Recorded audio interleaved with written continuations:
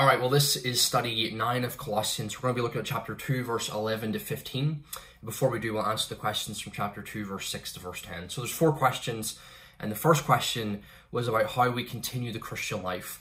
Now, the Colossian believers began the Christian life by faith, and they were to walk in Christ the same way, by faith.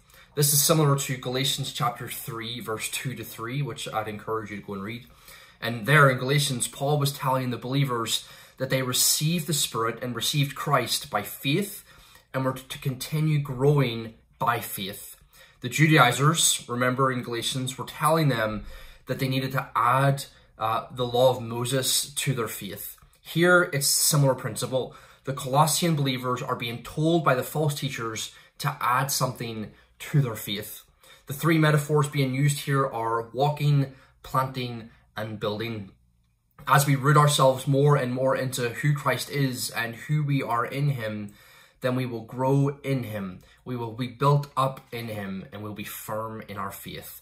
Our lives will then overflow with Christlikeness and thanksgiving. Question two then was about what the false teachers were doing. The false teachers used persuasive speech, seeking to lure the Colossians away with uh, hidden or deep wisdom that actually wasn't hidden or deep wisdom. It was just pretend. Uh, it was just false. And they didn't have revelation from God. They offered instead empty man made traditions and superstitions involving spiritual beings. Question three then Jesus Christ, however, is God in the flesh, supreme king and ruler over everything, including the invisible realm of thrones, dominions, rulers, and authorities. You'll see that in chapter 1, verse 16. And in question 4, in Christ we are complete or filled. He is the fullness and he fills us, bringing us to fullness. We have everything we need through faith in Christ for eternal life. Paul is basically saying here that the false teachers are offering something that's beneath Christ and something the Colossian believers don't actually need. Let me try and illustrate it for you. Imagine you had a 500 piece jigsaw puzzle made out of solid pure gold. Imagine it was complete. You'd put all 500 pieces together.